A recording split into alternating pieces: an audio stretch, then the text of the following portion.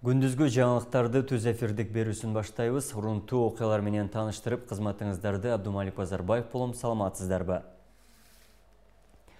4 апрелде ыкчам маалыматты ишке ашыруунун жүрүшүндө улуттук коопсуздук мамлекеттик комитети тарабынан мамлекеттик чек аранын чүй чек ара отрядынын аскери кызматкерлери менен биргеликте чүй облусунун аймагындагы курал жарак жана ок дарылар сакталган жашыруун жай табылды ал жерден мергенчилик мылтыгы травматикалык тапанча үн чыгаруучу граната автомат жана тапанча үчүн жети калибрдеги октары он алты калибрлүү мергенчилик гильзалары ок жана казакстандык билайн операторунун эки сим картасы табылып алынды алдын ала маалыматтар боюнча табылган курал жарак жана ок дарылар кылмыштуу элементтер тарабынан кылмыш жасоо үчүн даярдалгандыгы аныкталды.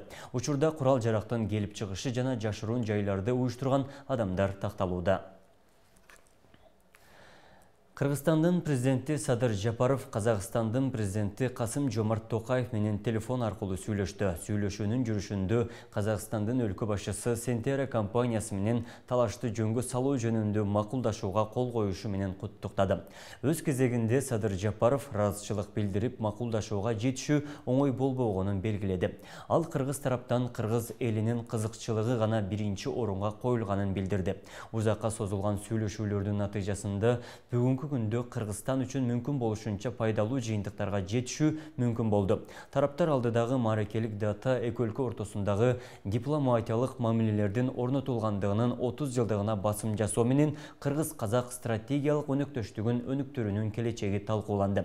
Ошону менен катар Жапаров Казакстандын чек арасын Кыргызстандын жарандары үчүн ачуу маселесин оң жагына кароону өтүндү. Бул боюнча кошуна өлкөнүн башчысы тиешелүү мамлекеттик органдарына бул маселени негиздүү түрдө түрдүү кароону тапшыра турганын билдирди 11 апрелден тарты Казакстан Кыргызстан үчүн чек ара бекеттерин ача турганын Кыргызстандын Казакстандагы элчиси Дастан Дүшөкеев билдирди.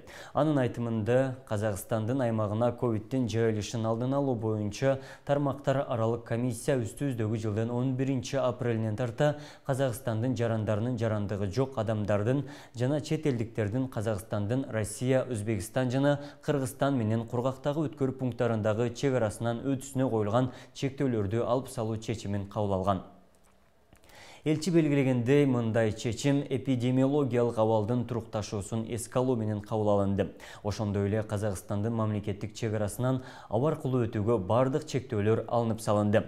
Ошол эле учурда пчр тестин колдонуу менен covid он тогуз боюнча изилдөөнүн терс натыйжасы бар сертификатты жана covid он тогузга каршы эмдөөнүн ревакцинациялоонун толук курсунан өткөндүгүн тастыктаган документти паспортто милдеттүү түрдө көрсөтүү талабы. Казакстандыктар анын аймагында жашап турууга уруксаты бар чет өлкөлүк жарандар үчүн ошондой эле эмдүү паспортторун өз ара таануу менен чет өлкөлүк жарандар үчүн сакталып калат.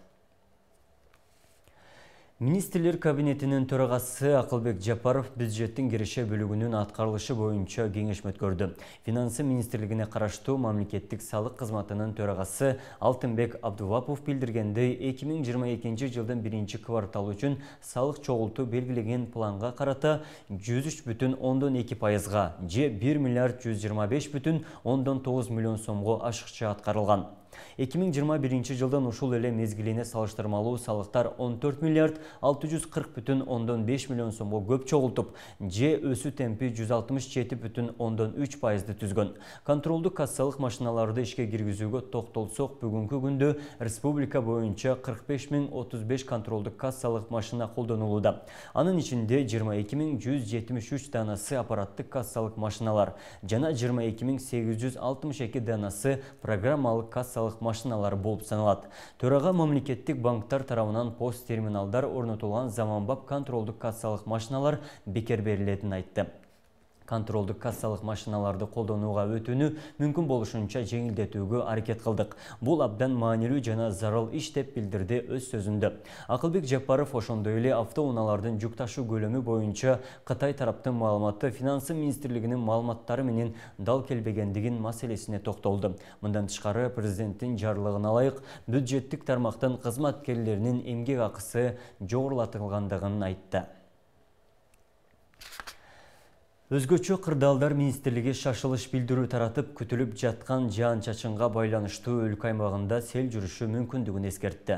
Маалыматка ылайык 6 апрелден 10 апрель күндөрү Ош, Жалал Абад жана Баткен облустарынын райондорунун райондорунда температуранын жогорулашына жана күтүлүп жаткан нөшөрлүү жаан чачынга байланыштуу эңкейиш же төмөн жерлерде суу каптоо, дарыялардагы суунун деңгээли көтөрүлүшү, тоолуу жана тоо этектериндеги райондорунда сел жүрүшү мүмкүн.